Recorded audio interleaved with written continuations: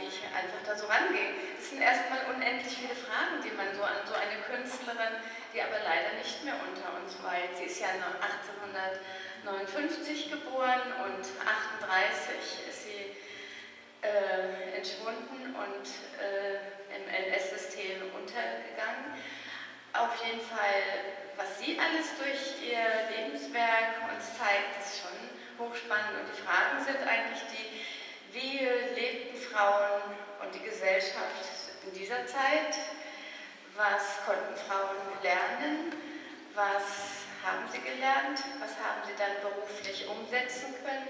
Welche Sichtweisen haben sie auf die Gesellschaft? Was war eigentlich alles das, ja, was ihre Arbeit prägte? Welche gestalterischen Mittel hat sie sich erarbeitet? Weil immerhin war ja die Fotografie ja noch ganz und gar am Anfang. Und das ist natürlich das Interessante, wie alles begann. Ja, jetzt habe ich mal genügend das, das äh, Mikrofon ausprobiert. Ähm, äh, jetzt bitte ich äh, Frau Christina, Frau Professorin Christina Kaufmann hier an.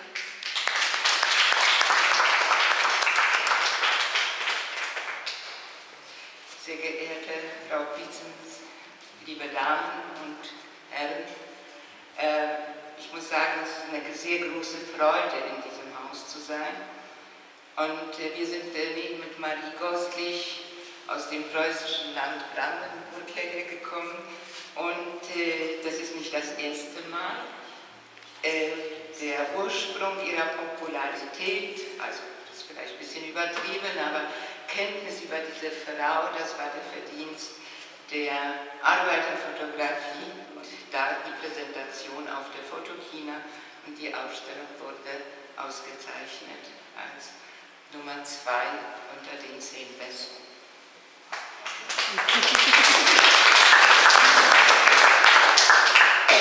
Und dann eines Tages sprach mich der hier anwesende Herr Dozent Hegeler im Fotomuseum in äh, Berlin an. Hm, ja, also eigentlich eignet sich Marie Goslich, das seinen Studenten vorzuzeigen und zu sehen, was sie gemacht haben. Und aus dieser Zusammenarbeit mit ihnen hatte, kamen diese, kam diese Serie von Bildern und meine Begeisterung war unendlich groß, als ich dann kam dort und gesehen habe, wie die Ausstellung auch gestaltet wurde von den Studenten als thematische Ausstellung an die Größe der Glasnegativen. Also hier kann man sich noch leichter vorstellen, das sind waren Glasnegative und das sind diese Abzüge, weil sie im Farbton und in der Größe und in der Qualität also dem Original sehr nahe sind. Also Sie können sich vorstellen, das sind Glasnegative die man nicht immer behandeln kann. Ja? Die kann ich nicht ausstellen, ich kann nur das, was man also digitalisieren konnte, dann ausstellen. Dieses Bildmaterial ist Privateigentum, also die Glasnegative und alles andere ist Privateigentum des Albrecht Herrmann, dessen Mutter die Bilder äh, gerettet hatte. Nach dem Zweiten Weltkrieg äh, war das Haus belegt vom russischen Soldaten und es ist ihr gelungen, das so zu verstecken, dass sie nicht zertrümmert wurden.